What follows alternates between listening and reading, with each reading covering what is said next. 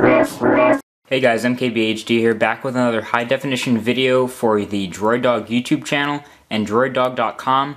And after Dustin's SetCPU review, I was really tempted to let you guys know uh, my thoughts on SetCPU. So today I'll be giving you guys my rundown of how I use SetCPU to save my battery life. Now to the right of this uh, phone I'm holding right here, you can see a screenshot I actually took at the end of yesterday. And you can see how much battery I have left, which isn't much. But then you can see how long I was using SetCPU and on this battery I had this phone going for well over 12 hours without any hitches um, from when I took it off the charger at 7 in the morning uh, till well after uh, the sun went down. So right, I'll just go get and give you guys a walkthrough of my SetCPU settings and how exactly I use it to save battery.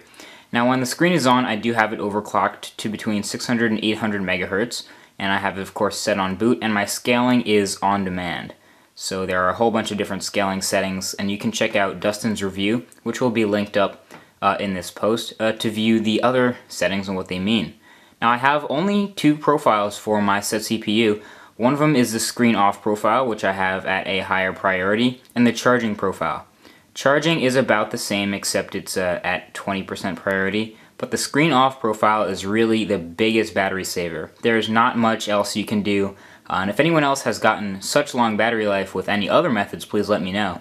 But what I do is when the screen is off, so for example when I just turn the screen off like this, the processor really, really underclocks. And I'll show you, it's underclocked to between 150, or 125 and 250 megahertz. So it's scaled way down from the stock 550 megahertz. Uh, it's really chilling, your phone gets really cool, just chills um, and you really save a ton of battery that way. Now scaling is on performance mode because I do unlock the phone and I want it to be at 250 immediately. So your phone uh, will really just stay chilling between 125 and 250 megahertz.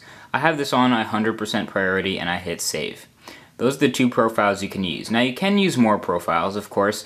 Uh, Dustin showed you you can have a battery temperature maximum or a CPU temperature maximum where it automatically underclocks to prevent damage to your phone, but that's really all I use there. And of course I have profiles enabled. Under advanced, I really haven't changed that much. Under sampling rate, you don't want it to sample too quickly because that will actually begin to uh, take battery power. So if you sample too many times per second, uh, that will uh, start to, you know, wear down the phone a little bit. So I have it at the 300,000 instead of the minimum 30,000. I have the SetCPU up threshold to 50%, 0 to ignore nice load, and I have the power save bias to 820, so that gives you a good idea of type of battery you can get with 820.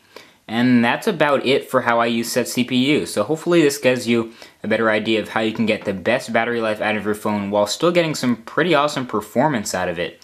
I don't actually use a SetCPU widget, but you can use that to get a good idea of monitoring your temperatures. But overall, I really love this application and it's helped me save a lot of battery life and have my phone running all day.